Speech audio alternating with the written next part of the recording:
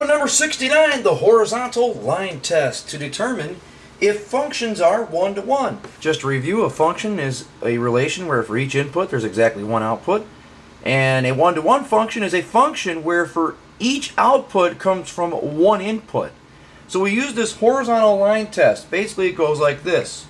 If you were to draw a number of horizontal lines, will the function touch it at one spot? Now actually be careful on F this is actually not even a function because it doesn't pass the vertical line test. You see, for this input, you're getting two different outputs. So this is not, this is not even a function. So we're not even going to try to bother if it's one-to-one because in order for it to be a one-to-one -one function, it must be at least a function. So this does not pass the vertical line test, which is what you would use for to determine whether or not a relation is a function. For one-to-one, we use the horizontal line test. And function g, these horizontal lines are touching the graph at two spots, meaning this output comes from two different inputs. This output comes from two different inputs, so therefore not one-to-one -one, because it fails the horizontal line test. Same thing for h. At this horizontal line, you have it touching at one point, but all the other horizontal lines, you're getting two points. So therefore, not one-to-one -one because it fails the horizontal line test. Now what about function k?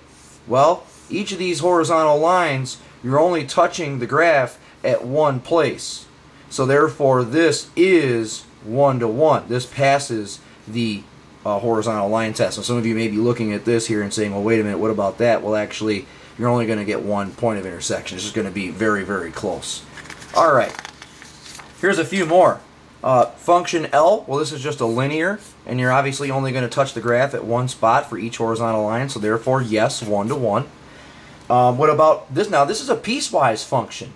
You see, this a piecewise function can be one-to-one -one as long as the point that you have that's shared as long as there's a function value. So this is in fact one-to-one. Okay, here's another function, uh, function lmn, and I guess we'll call this function o. All right.